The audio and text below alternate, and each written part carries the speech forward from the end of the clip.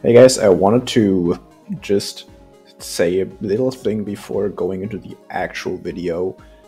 Um, I want to say a big thank you for all the nice feedback on the first episode.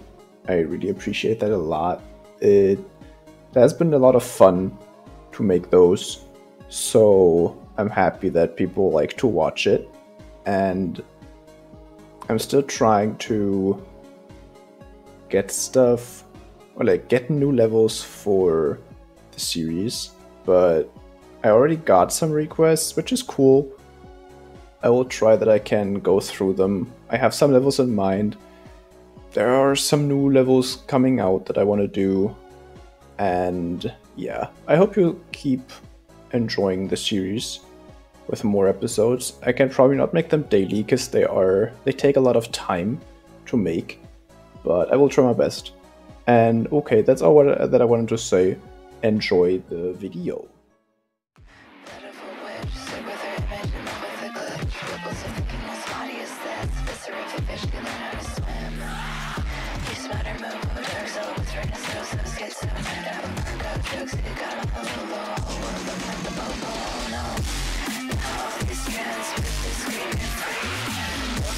Thank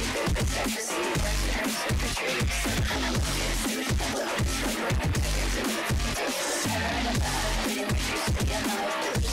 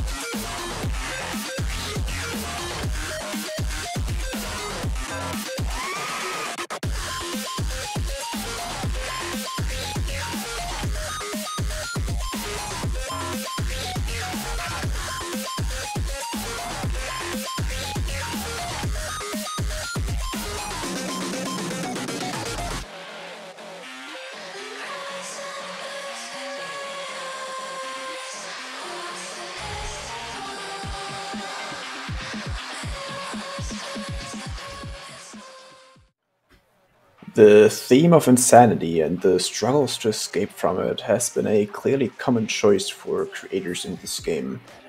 Final Disaster by Alvaro RH99 follows roughly the same theme, while depicting it with great effects, which create a very well-fitting atmosphere. The level starts out pretty simple, with not much of a variation in color and design, which only gets interrupted by some flashes of red and yellow at times.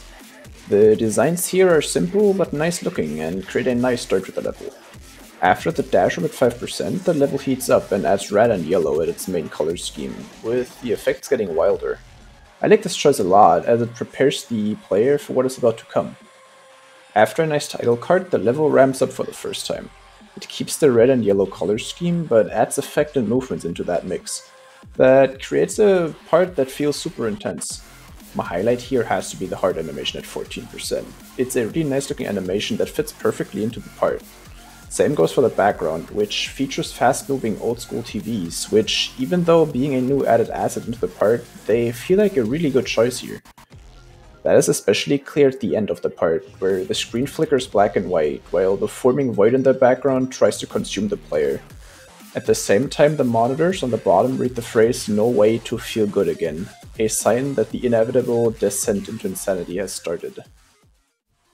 The next part continues the grayscale from the previous transition, even though it is frequently interrupted by flashes of red and yellow, colors that have been very prominent throughout the level. The part is a really nice depiction of helplessness, as a last struggle is made to escape the approaching chaos.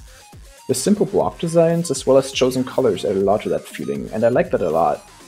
I also love how the flickering used in this part gets faster and faster the further you go through it. Another amazing way of building up to the drop, and with it the arrival of chaos in the player's mind. Speaking of the drop, it's the part that comes next, and from here on out, the level reaches its climax, with it being fast-paced and chaotic, while still staying true to the theme and creating amazing intensity. What I find incredible about this and the upcoming parts is that even though the effects are chaotic and all over the place, it never feels out of place or messy. This just shows how well crafted level is, as not a lot of player uh, creators are able to achieve something like that. Like the last part, the next part carries over the exact same qualities. It feels intense and chaotic while being clean and well structured all the time. It feels like every movement the creator added fulfills its purpose, which makes the part so much more fun to look at. I like the addition of the eye that watches you until it crashes into the structure at the top. Little things like that aren't easy to notice when playing, but they add so much more life to a level. Next up is the last slow section of the level, used to prepare the player for the finale that is about to happen. It does reuse the TVs from the second part, which this time show the creator's icon, flickering on the screen. I like this little detail as it's used to bring the boss fight that's coming next to life. The boss fight is the main attraction of the final two parts, and even though I'm not the biggest fan of boss fights, this one is really well made. It can be inter interpreted as the player fighting themselves to get their sanity back while trying to avoid being trapped in their broken mind forever. The boss fight does have two phases, the first being similar in structure of the first two drop parts, and the last one being the final showdown. This was another highlight of the level for me, as all the attacks and the animations looked really good, and it's a super intense ending to the level. Overall, the level is the perfect depiction of the theme for me.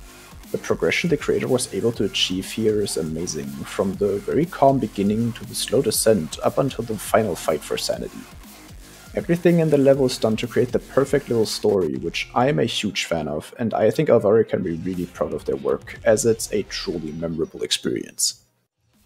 Onto the gameplay, I didn't find anything bad or unfair about it at all. It does feature some difficult sections, very expected from a medium demon, the projected difficulty of the level. The first parts feature simple cue timings, with some fakes mixed to keep the player's attention. I like the choice in gameplay here, as it fits the vibe of the level perfectly, while not being unfair at all.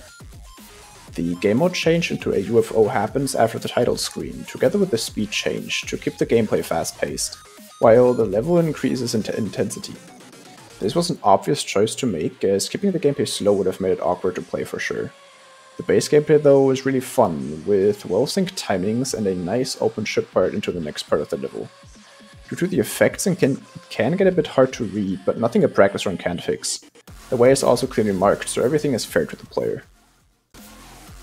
Next up is another slow section of the level with some easy cube and robot gameplay, which is again very well marked and fitting to the part of the level.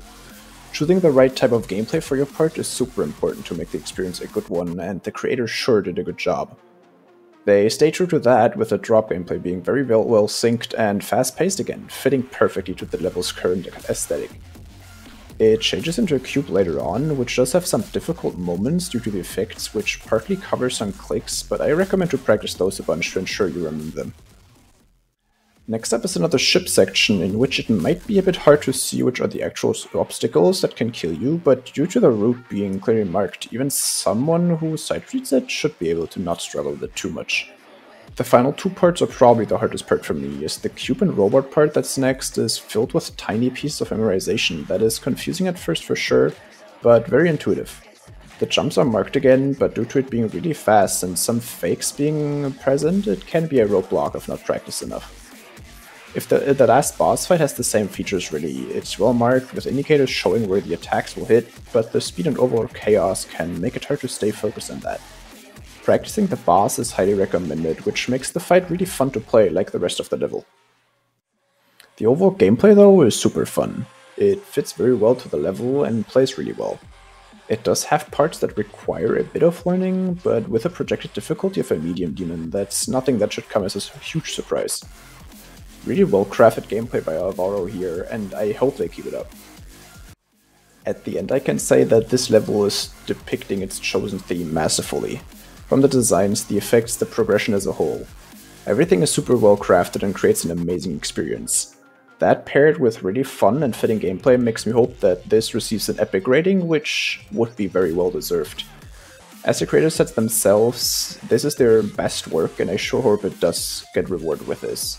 Even if not, there's no doubt in my mind that this level is at least getting featured and will be remembered by the community for a good while.